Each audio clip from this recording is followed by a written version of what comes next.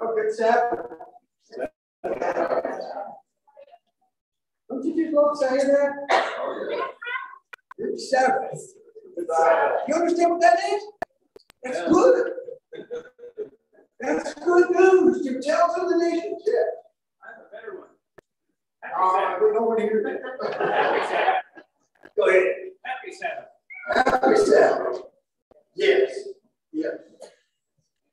It is good to be uh, with you this morning. Let's, let's pray. No, I'm just kidding. I'm a big one with, I, I love music. Anybody else love music? I think it all something happens. music. Why do we love music so much? Because it's a story that we can tell. It's a story that we can sing. When you put melody to that story, all of a sudden there's new life in it, isn't there? But we sing hymns that are very familiar to us. And sometimes I think we just sing those familiar words and forget the message in there. And did you just do that with this that we just sang? Did you catch the message? And I said, listen to this again. We have a story to tell. To who? To the nations. That's everybody, isn't it? What is that story? That shall turn their hearts to the wrong to right. A story of what? Truth and mercy.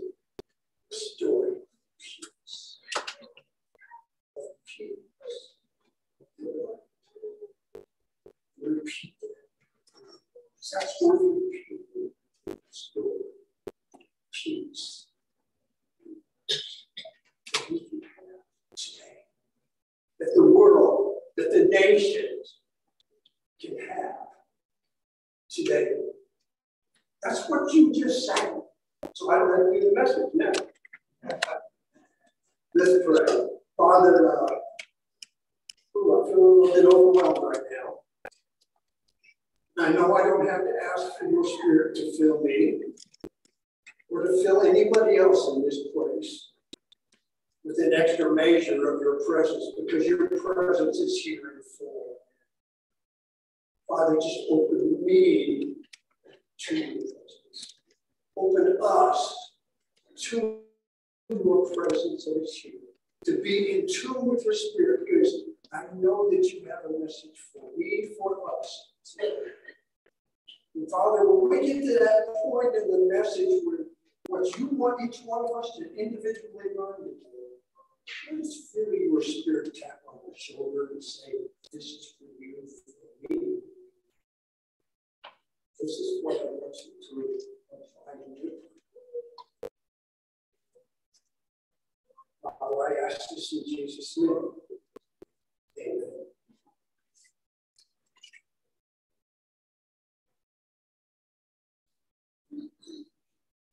So we're going to be talking about stories. Stories, they come in all kinds of shapes, and forms, sizes. And what do we do with stories? Don't we tell them to each other? Isn't that part of our communication? Every culture in the world has stories. All of our lives. We've heard stories every day, pretty much all day. It's made up of hearing and telling of stories. I'm not sure that it's possible for us to have a conversation without being stories involved in it. We couldn't have breakfast this morning without stories being told. Now, some of them are jokes and just silly stories, but I won't tell you where they took place, but, they came from Danny. we entertain ourselves with uh, documentaries, biographies, novels, some fiction, some nonfiction, and whether we listen to or read or watch those stories, whether we mean for them to not, they have an effect on our life. They seem to kind of draw us in to this. So, have you ever been reading an exciting novel and you just read a chapter at night before you go to bed? You keep toward the the novel, and I, I know I got to get up early the next morning. I got to see what happens. And so you read, and all of a sudden, it's midnight. It just kind of overtakes us, draws us in to that story. So much so that it can dominate our lives. We talk about it. We interact with others because of what we've read or heard or watched. It can even affect how we dream about our what we're going to do, what we're having, what we're wanting to achieve, how we live our lives. Stories have that much effect on us. And what happens is that we can so easily base and build our lives on stories that might not be that stories that might flat out be false. Stories that are founded on, all of that is founded on stories that we read, that we hear, that we watch, and that we share. Now, if stories have that much influence on you if they can affect our lives that much, if our lives, our relationships are really based somewhat on stories, wouldn't it be a good idea for those stories to be accurate? In other words, to not be based on falsehoods. so that we don't come to wrong conclusions. So that we don't get down the road of life and say, How did I get here? Missing information, even just little tidbits of information that might be false, errors in communication can lead to disastrous results.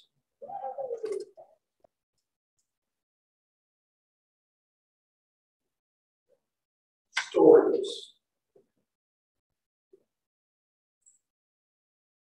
This is from an actual ad that I didn't read, I just read about from a classified ads of an old newspaper. The first day for sale. R.D. Jones has one sewing machine for sale. Phone 958 3030 after 7 p.m. and ask for Mrs. Kelly, who lives with him.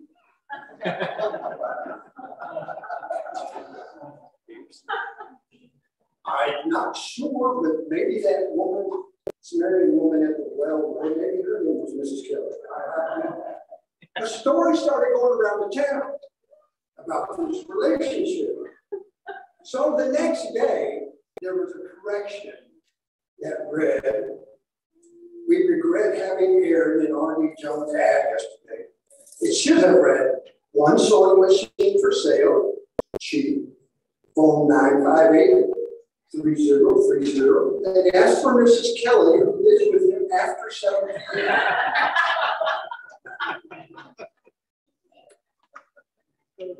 Doesn't help the stories flying around. Why not? Yes, just a little bit. Yes. Well, that correction was corrected the day after that with this. Reverend R.D. Jones has informed us that he has received several anonymous phone calls, telephone calls, because of the error we made in his classified address. His ad stands corrected as follows. R.D. Jones has one sewing machine for sale. She phone 958-3030 after 5 or 7 p.m. and ask for Mrs. Kelly, who loves you with him.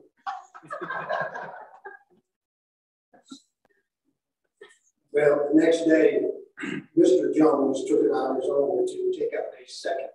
And what he wrote. I, R.D. Jones, have no sewing machine for sale. I smashed it.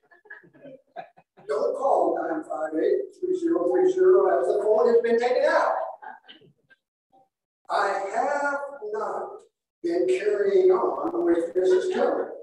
Until yesterday, she was my housekeeper, but she quit. now, what happened here? What is the, the main theme of this ad? Is he has one sewing machine for sale. But it got twisted all around to something totally different. Why? Because of misinformation. Because of errors. Because of falsehoods. And what was the effect of that? It turned his world upside down. And Mrs. Kelly's upside down. It became a confusing mess. Because the story, the information was written in the newspaper that was read as being true, as being accurate, actually was inaccurate because of just little things. Look, if our lives are centered that much, if stories have that much power, here again, wouldn't it you want to have the stories life? Wouldn't you want them to be?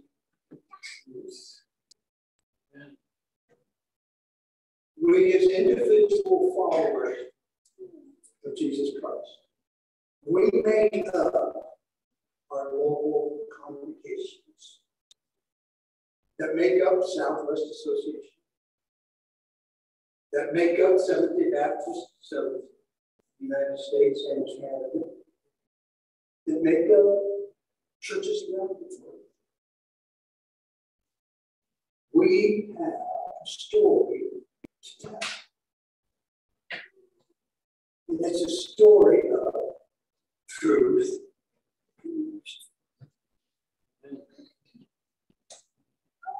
This story that we have to tell is is made up I think we kind of missed it. Um, we have a story to tell. When we look at that, we, and what you see there? Somebody else can tell that story. Yes, we have a story to tell. But where does that story start? It starts with your individual story. God, how God has touched and transformed you. With his activity that is in your life.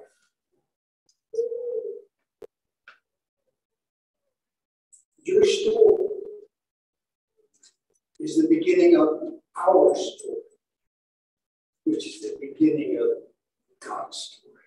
We have a story to tell to the nation. John 1 14, familiar scripture for all of us. The Word. That is Jesus became flesh and made his dwelling among us. We have seen his glory. You have seen his glory You have seen his activity in your life.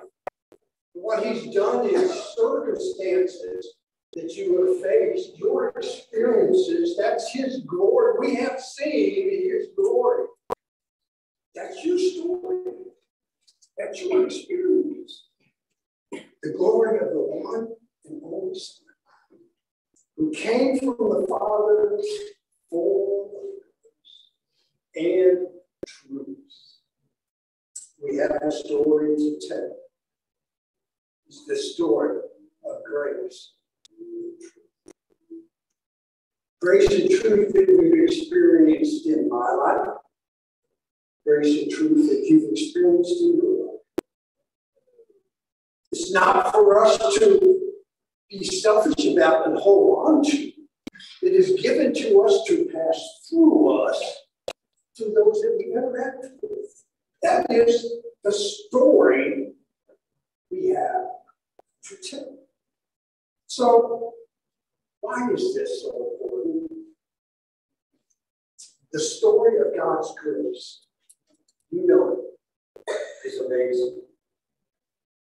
It, it's one of those when you just sit still and you, you think about it, you just kind of, wow. And that's just so amazing. What is amazing something that's almost hard to comprehend. It's overwhelming. It us.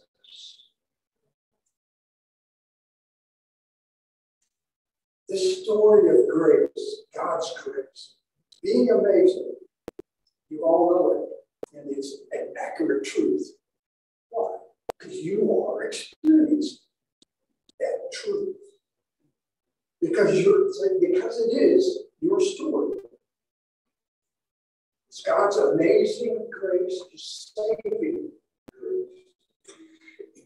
It's that that breaks through the penalty and the power and the presence of darkness of sin in my life, in your life, in, the, in this world, so that we can and will abide with Him now and forever. This is amazing grace of our Lord Jesus Christ, that He brings us salvation, brings salvation to a sinner. Don't need too awful offended, but it's true. He brings salvation to a sinner.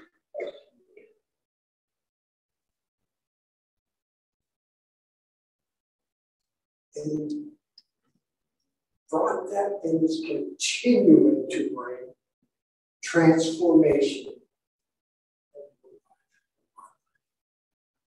Making us more alive. The same. That's the story that we have to tell. It's a story of a great Savior. We're going to be using a scripture that you might not think of too much in connection with this, but we're going to be looking at Titus this morning, specifically in, in uh, chapter 2, verses 11 through 14. And I'm going to just break down bit as we go through it. But the first thing we're going to see is that the story of our great Savior is that he is great in his graciousness.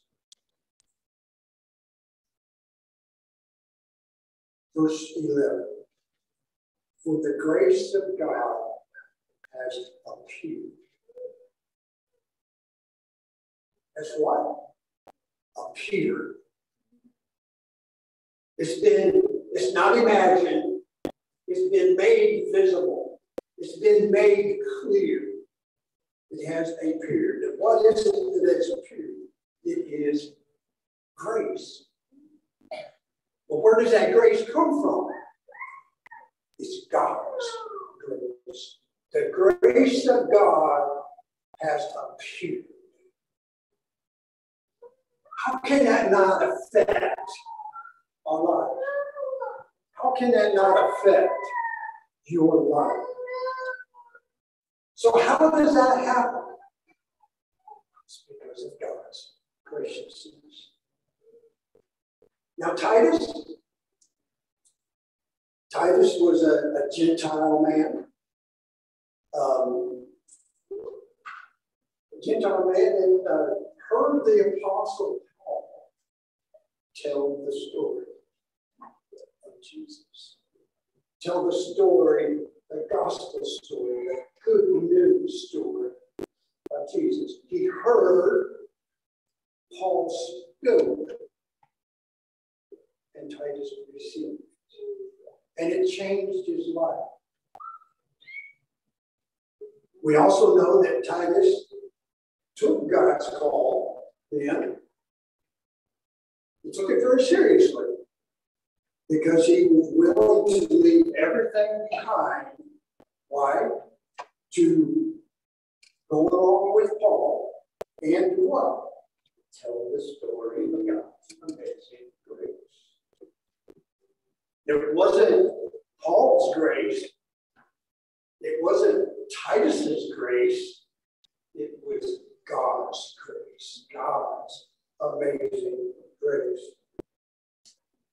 So, who did they tell it to? Who's that grace for? Well, let's finish the verse. It is offered to all. Did you get that?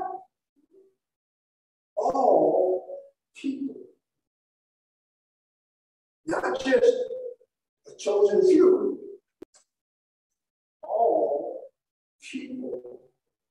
By far, the greatest story of history is the story of God's amazing grace. Now, you've heard definitions of what grace is. You've heard, probably heard God's riches at Christ's expense. God's giving us what we do not deserve, unmerited favor of God. But grace, grace helps us to realize that a right standing with God does not depend on who I am. It doesn't depend on who you are. It totally depends on who God is. God has done. J. Vernon McGee tells a story of a man who wanted to join a, a local Baptist church. The deacons were unsure of his character, and they began to ask him questions. Uh, questions like uh, that was regarding uh, his personal salvation. So they asked him, How did you get saved? And his answer was, God did his part, and I did my part. That sounded a little fishy. So they wanted to dig in a little bit more than that. And they asked him, well, what was God's part? And what was your part? And he said, God's part was the saving. My part was the singing. I ran from him as fast as my sinful heart and rebellious legs could take me. But he ran after me until he vanished. That is amazing grace.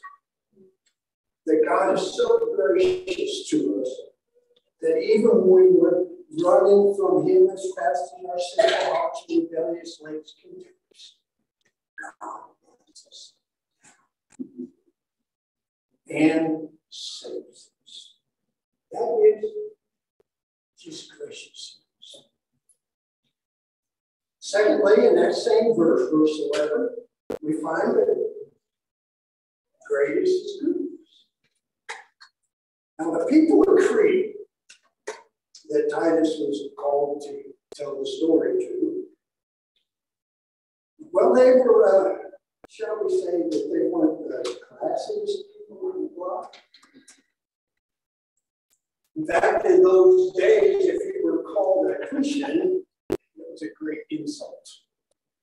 They were had a, a terrible reputation. They were known for being liars and cheats, and gluttons and drunkards, and being unfaithful and untrustworthy. Now, this is the story of God's amazing grace. That it wasn't the goodness of those folks because they didn't have. It wasn't the goodness of those folks that qualify them for God's grace. To us, they would have been a hopeless case. It was totally 100% the goodness of God. God's amazing grace, given, poured out, even though they didn't deserve it. You've probably heard the, the saying uh, by Jerry Bridges. A number of times I've, I've heard it quoted we're going to look at it this here. Your worst days are never so bad that you are beyond reach. That's good to know, isn't it? Because we experience those worst days. But our best days are never so good that you are beyond the need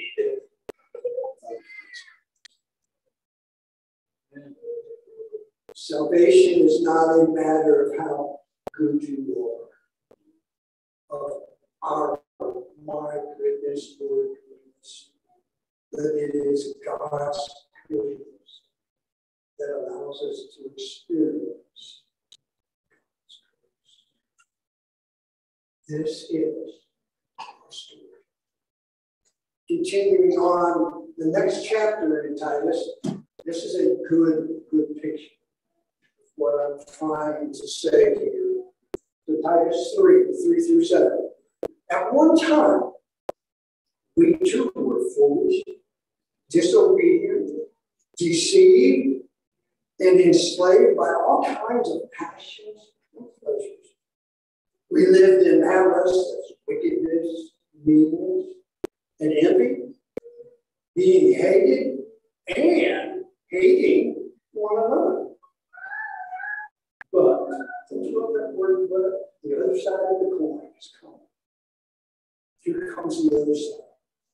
But with the kindness and love of God, our Savior appeared.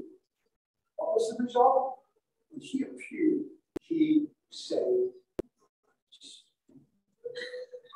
Not because of righteous things that we have done, but because of his he saved us through the washing the rebirth and the renewal by the Holy Spirit.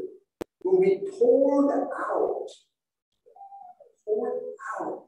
on us generously through Jesus Christ, our Savior. Why? So that, having been justified by His grace, we might become heirs of the living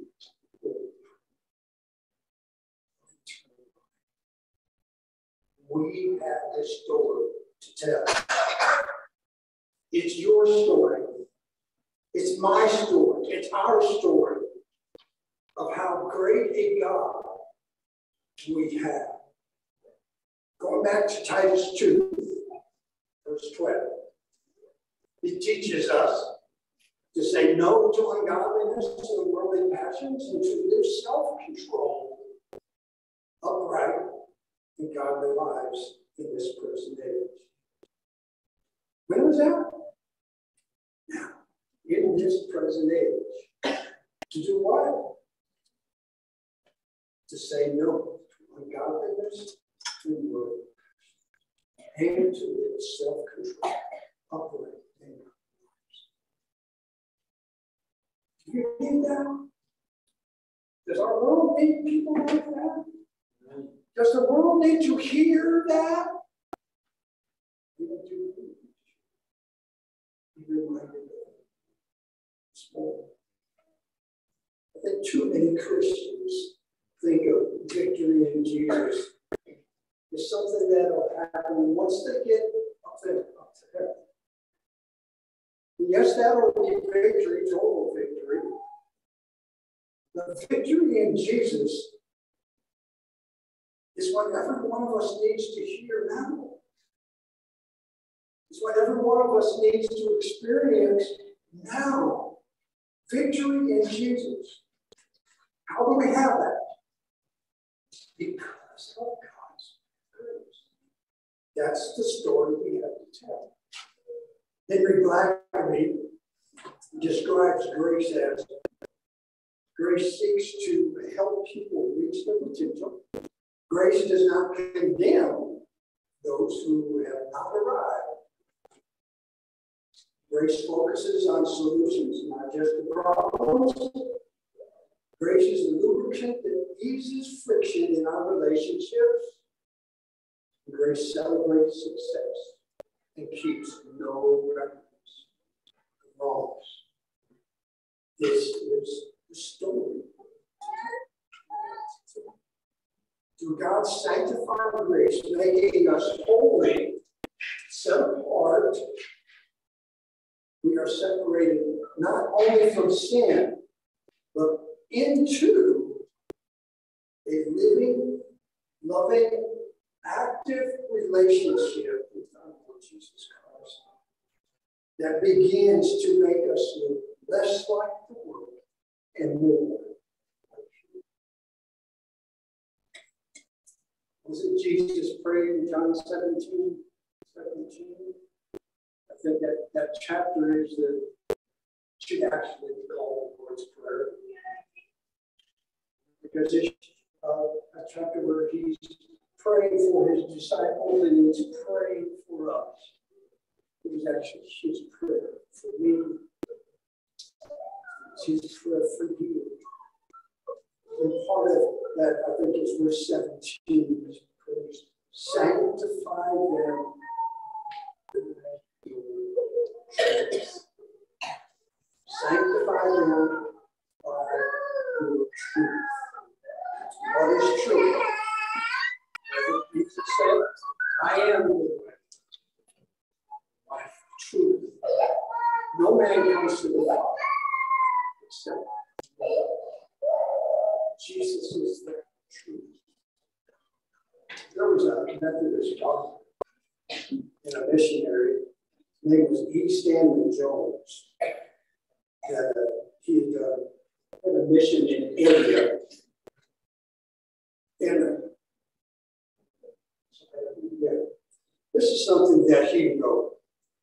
The early Christians did not say in dismay, look what the world is going to But in delight, look what has come. They saw not merely that sin did abound, but that grace did much more.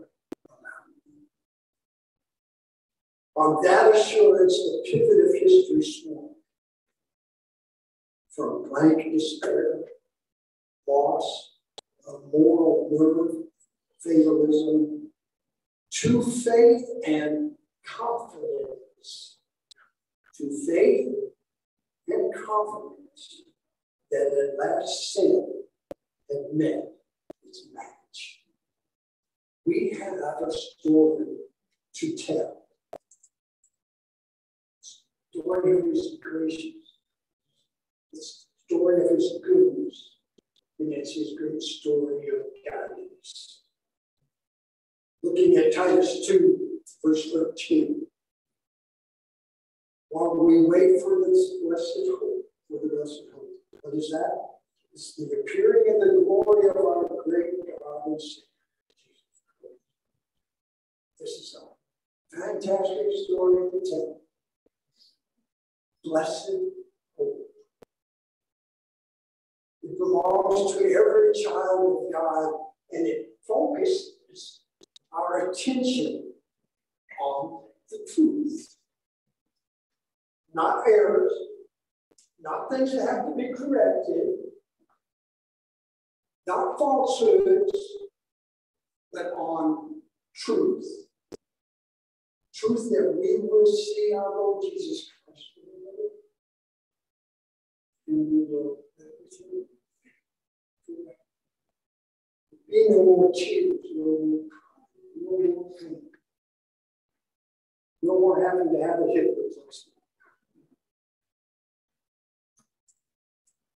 That's the blessing we have. It gives us strength and confidence to live our lives with purpose and with meaning. A better day is coming. In his book, Winning Life's Toughest Battles, psychologist Julius Singer told about 25,000 American soldiers who were held in POW camps during World War II. Some of them died, but a lot of them survived. There was no reason to believe that there was a difference between the stamina between those two groups. But there was one major difference between them. Those who survived were ones who held on to the hope that they would someday be released. They talked about they would have. They talked about the kind of person they would marry, the homes that they would build. They even went as far as drawing pictures on the walls of their souls. Just to illustrate, remind them of their dreams. Segal goes on to say that the researchers have found that that hopeful attitude that they can also lead to psychological changes that improve our immune system and how our body fights off disease. That's hope. It's what it can naturally do to our bodies. But knowing we have this the period, period of the great God and Savior Jesus Christ, it does not lead us to sit back in our pajamas and wait for the Lord like children waiting for Santa Claus on Christmas morning. This blessed hope, it leads, it motivates, and it encourages us to live lives for His, for His glory, and to live them now, to live them today. Aren't you thankful that our hope isn't built on political leaders or political system? That our hope is not built on never having any problems or on winning the lottery. Look, the difference between this world's and biblical hope is that the worldly hope is unsure. Word. Worldly hope is unsure of what it even hopes for. I'll find the right person someday. I hope it doesn't bring me check to wash out our playtime. I hope I make more money next year. Unsure things. Biblical, biblical is being sure of what it is hope, that hope is based on. And it is based upon God's promises.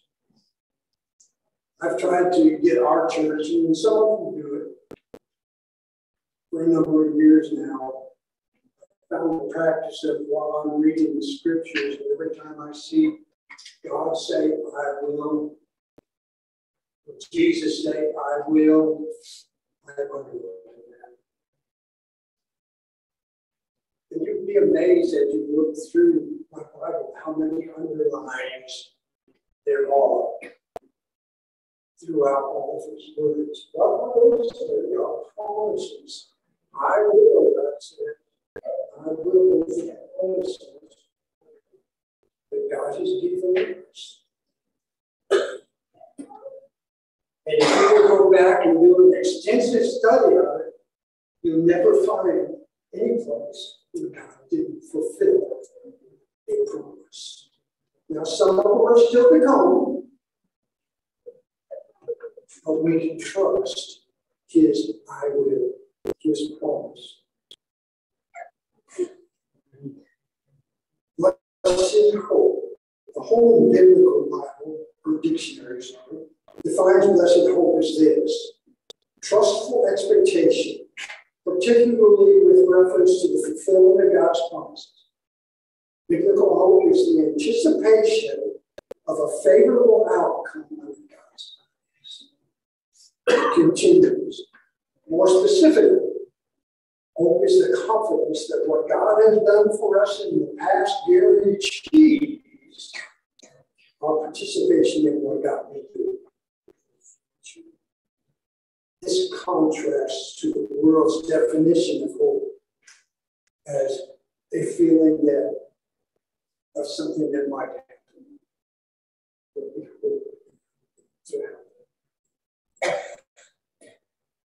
Titus 2 13. While we wait for this blessed the purity of the glory of our great God and Savior Jesus Christ who himself for us to redeem us. Redeem us of all wickedness, to purify for himself a people that are for his very It's another great thing that line right there. His very own. Eager to do what is good. When you truly begin to understand what God has done for you, it will motivate you to serve the Lord with a fresh passion. Sometimes we need to be reminded of that. It's easy for the world to weigh on our shoulders and to make us forget Jesus told his disciples that he would send, ask the Father to send the counselor, what did he say that counselor was supposed to do? It's going to teach, it's going to remind you of what you've already Sometimes we need that reminder. We have a story to tell. And it is the greatest story to be able to tell.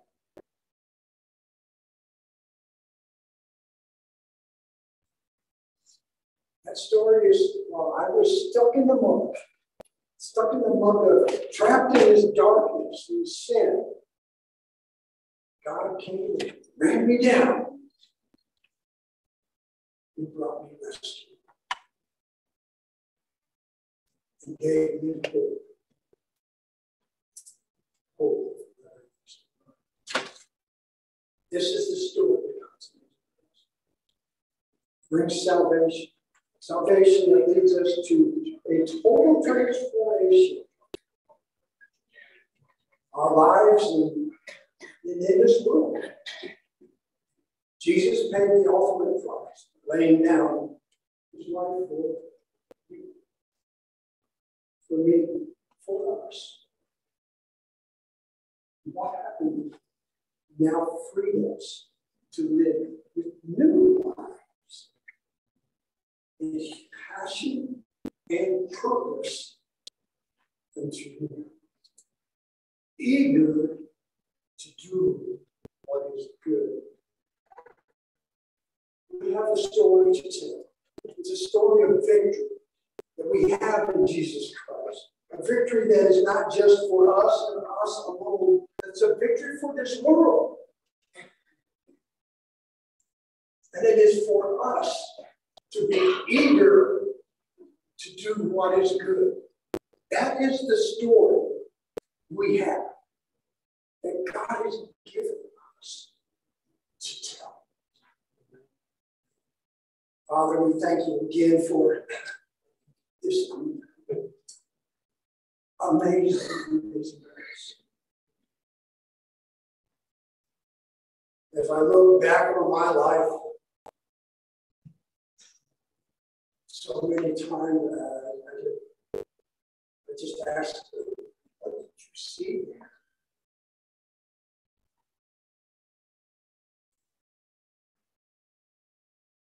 You keep running after me no matter how far was I think that's every one of the stories. Father, use your spirit right now That you've placed in us because we have, that's a promise He gave us, because we've accepted your Son. You have placed your Spirit in us. Help us right now to take that Spirit out of that closet and put him in our living room.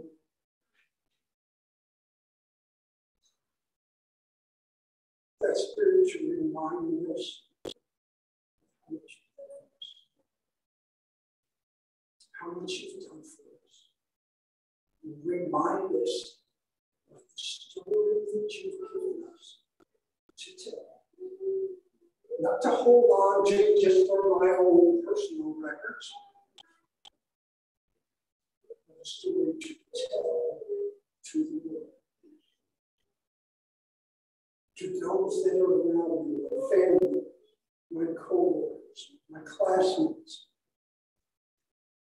those that we meet in Walmart. That's the story you have given us to tell that it is a story of victory.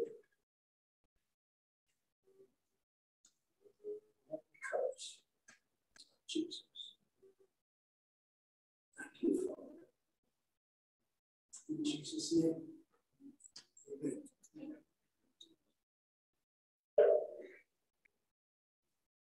We'll turn in the hymnals to 426, Victory in Jesus.